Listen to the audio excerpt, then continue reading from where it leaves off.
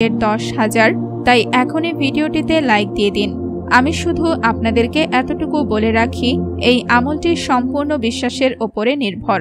আপনাদের কি আমলটি সম্পূর্ণ বিশ্বাসের সাথে করতে হবে এবং মনের মধ্যে এতটুকু ধারণা থাকতে হবে, সবকিছুর মালিক মহান আল্লাহ তাআলা রাব্বুল আলামিন। তিনি না চাইলে আমাদের ভাগ্য কখনোই পরিবর্তন হবে না। তিনি চাইলে খুব দ্রুত আমাদের ভাগ্য পরিবর্তন হয়ে যাবে। তবে তার আগে আমি আপনাদেরকে লংয়ের কিছু উপকারের কথা বলি, যা দৈনন্দিন জীবনে আমাদের সবারই কাজে লাগবে। এক, দাঁতের ব্যথা কমায়। লবঙ্গ দাঁতের ব্যথা দূর করে, মাড়ির ক্ষয় নিরাময় করে। লবঙ্গতে উপস্থিত অ্যান্টি ইনফ্লেমেটরি উপাদান শরীরে প্রবেশ করার পর এমন কিছু বিক্রিয়া করে, যে নিমিষে দাঁতের যন্ত্রণা কমে যায়। প্রায় সব টুথপেস্টের কমন উপকরণ এই লবঙ্গ। দুই বমি বমি ভাব দূর করে। ট্রেনে বা বাসে যাওয়ার সময় যদি মাথা